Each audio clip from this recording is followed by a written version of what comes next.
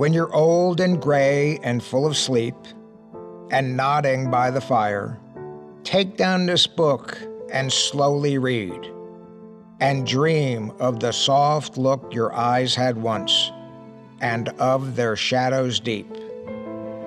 How many loved your moments of glad grace, and loved your beauty with love false or true? But one man loved the pilgrim soul in you, and love the sorrows of your changing face.